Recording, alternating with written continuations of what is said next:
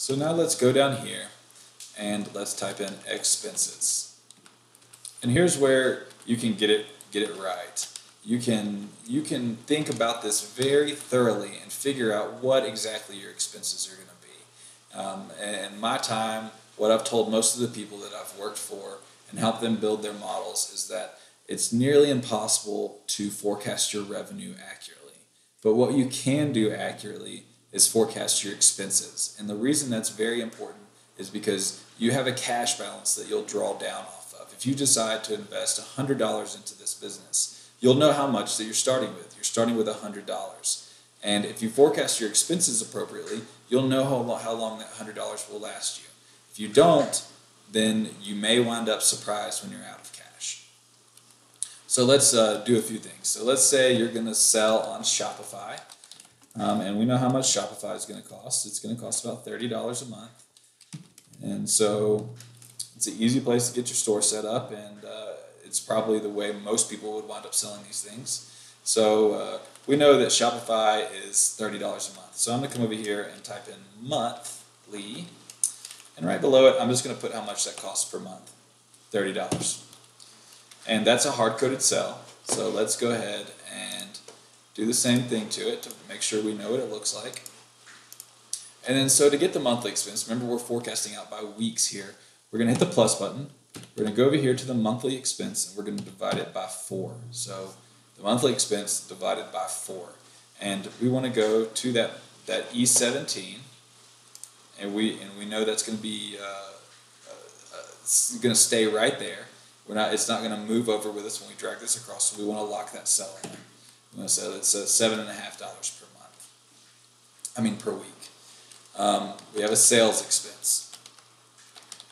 So that sales expense, say it's uh, three percent. So what's wrapped up in sales expense is the uh, credit card fees and the other fees that you may incur if you're selling on Shopify, anything like that. Um, also a hard-coded cell. So let's do the same thing. Let's format painter it down and uh, then go over here and hit the percent so it looks right. So that 3% is going to be times total revenue. And that's what we're going to multiply it by. So we get the plus key, go over to this 3%, hit F4, and then times, and go up to that revenue of $100 and hit enter.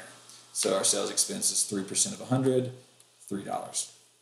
We have a marketing expense. Um, and let's go and just make an assumption that it's going to cost us uh, $3 in marketing expenses per sale. So that's also a hard code. Let's do the format painter one more time. Come down there, and uh, it format painter the same uh, as the one above it, which is in percent. We just want it in uh, render, just just comma style is what Excel would call it. So just hit this comma style button there, and then decrease the uh, indent so it only shows the. Um, so now we know we've sold five, and it costs us three dollars a piece. So we're going to go over here to that three, hit F4 and then times and multiply times the number that you've actually sold. G6. So $15 worth of marketing expense. Now here's where too you could come in and say insurance, rent, and figure out your metrics for how, you, how you're going to calculate those. Um, legal expenses, accounting, uh, dot dot dot, whatever whatever that may be.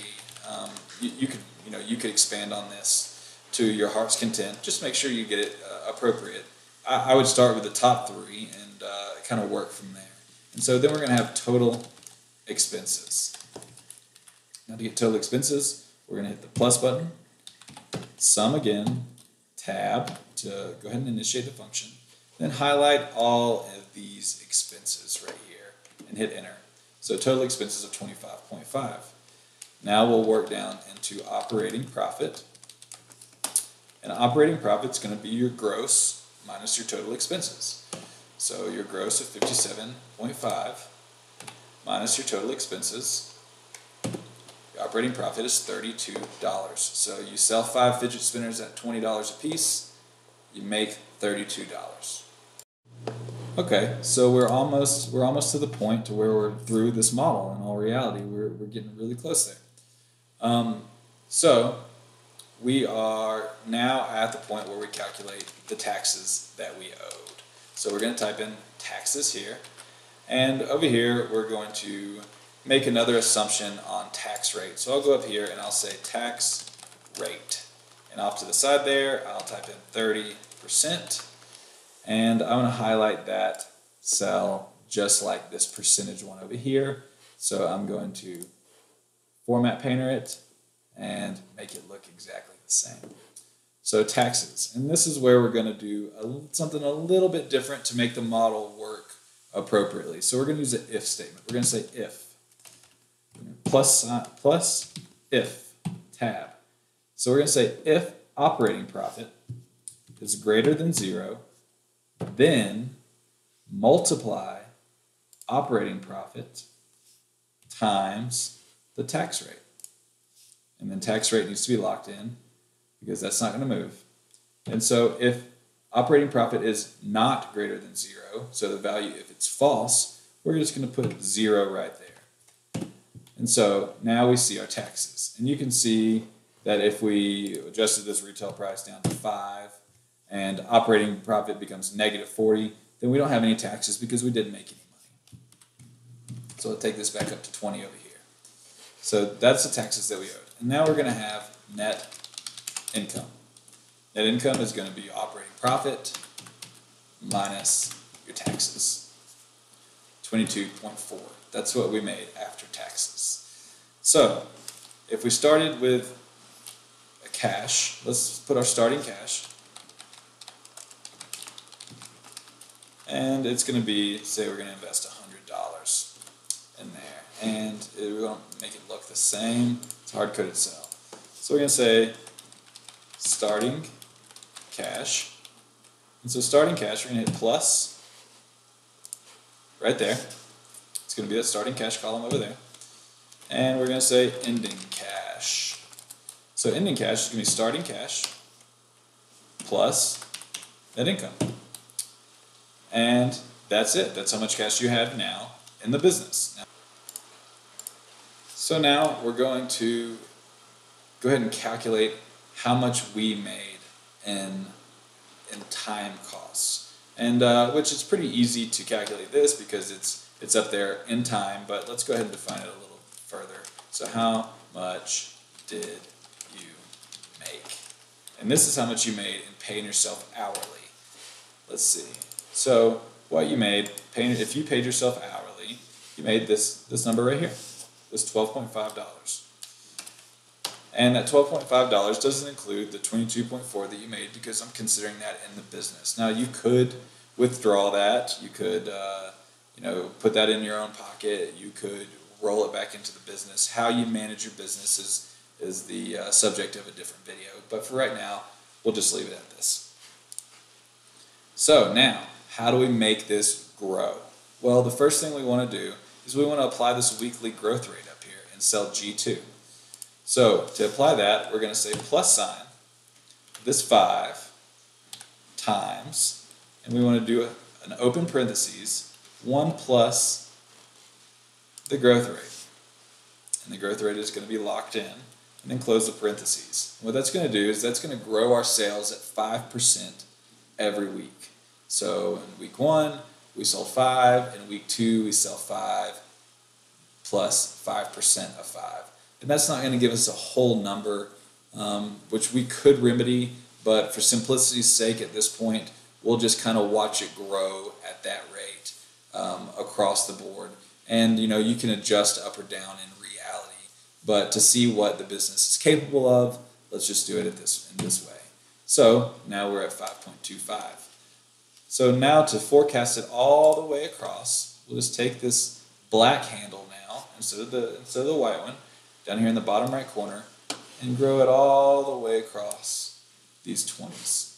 So you can see that gets kind of ugly um, and all those decimals. So let's highlight all those and come right up here and decrease the indent down to basic whole numbers.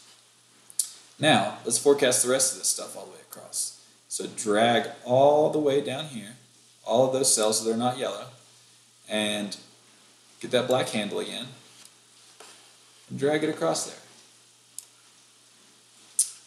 Now while they're all highlighted, just take this decrease indent and get them down to where you want them. Maybe uh, one decimal place will be good.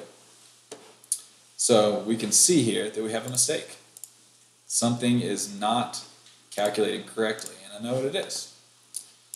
What we did here is we didn't lock in this cell, which that cell doesn't need to be locked in because the start the starting cash for week two doesn't equal the starting cash from week one. It equals the ending cash from week one. Week one. So we'll come in here and we'll make this go right here. 122.4 is the starting cash for week two. And now that is going to work correctly if we take it and drag it all the way across. So you can see that over those 20 weeks, if you don't withdraw any of the cash, you'll go from $100 in the business to $900 in the business. This is at these basic assumptions that I've made. You can you know, fiddle with them to your heart's content and uh, make them what you believe is realistic. Um, do some market research on retail price, do some market research on your cost of materials, and then figure out how much it's going to cost you to sell these things, how much it's going to cost you to market them, and then make these assumptions in these yellow cells. Once those are made, you'll have a realistic idea of what that business may be able to produce. In this case, it's a fidget spinner. So thanks for watching. Um, I'm going to be making more of these videos over time. If you have any questions, please feel free to leave them in the comments. I'll try and respond to them as much as can, I can. And if you notice something that I could do better, if uh, you know, if you have any suggestions, please uh, let me know. Thanks for watching. And of course, subscribe. Thank you.